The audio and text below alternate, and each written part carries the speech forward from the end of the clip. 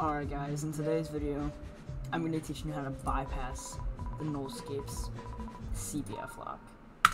Actually, Alright. So look at between frames. I've got it on. It's not disabled here, not disabled there. And this is the actual level. It's Kibbo. And right now we go into um, Shardscapes. Because which you can do with no clip. So if you just turn no clip on, with safe mode though. Just when you get there, level glitch out.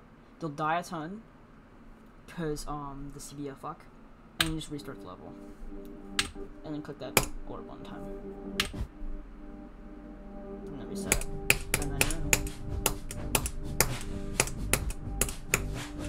excuse the bad no but like this will work even with a full restart. Like if I press Control R, which does a full restart, if you have the option enabled in the settings, it still works.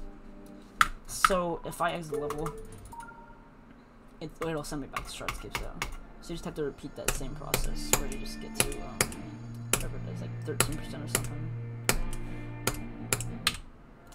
And then like once you actually get to Nullscapes, you can just turn off and it'll also work. I'm gonna show it one more time.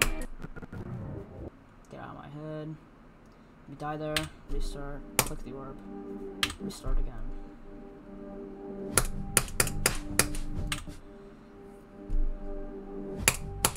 Again, this shouldn't even this shouldn't even been a feature in the first place because it's like, just why? There's no point to it.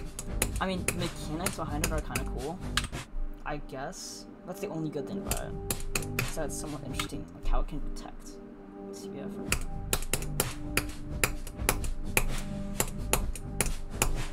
This is this is hard. This is so much harder than Shardscapes. Oh my gosh. Yeah, thanks for watching, guys. I'll see you next week.